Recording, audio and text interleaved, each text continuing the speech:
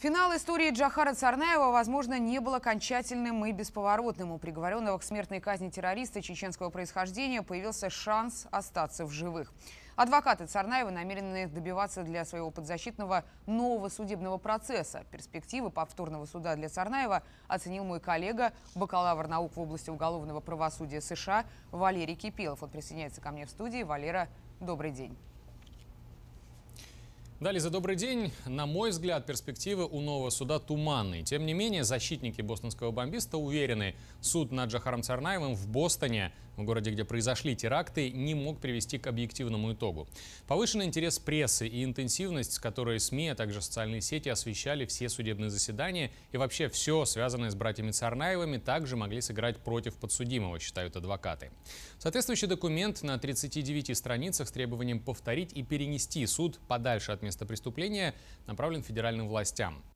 Новый судебный процесс на другой территории необходим по причине продолжительной и не ослабевающей информационной кампании вокруг суда над Джахаром Царнаевым. Кроме того, тесная связь между членами коллегии присяжных и всеми событиями, окружавшими взрывы на бостонском марафоне, не могли не помешать беспристрастному судебному решению. Напомню, 15 апреля 2013 года Тамерлан и Джахар Царнаевы устроили два взрыва самодельных бомб на финишной прямой ежегодного бостонского марафона. Тогда погибли трое человек, включая одного ребенка. 264 получили травмы и увечья. Братья-террористы пустились в бега и несколько дней скрывались от полиции и ФБР.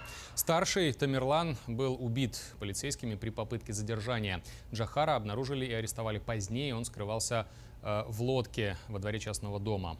Следствие и суд над младшим из Царнаевых длились около полутора лет. Выслушав показания примерно 150 пострадавших и свидетелей терактов, присяжные единогласно признали 22-летнего выходца из Чечни виновным по всем 30 пунктам обвинения.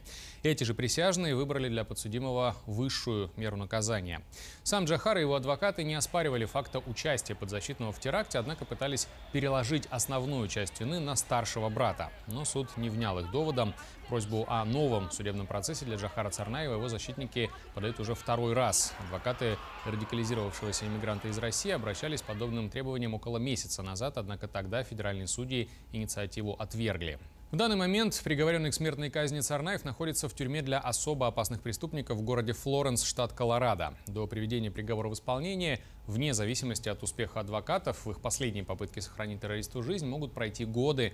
По статистике, апелляционные процедуры в США могут тянуться несколько лет. Лиза. Спасибо, Валера. Валерий Кипилов о перспективах нового суда над Джахаром Царнаевым.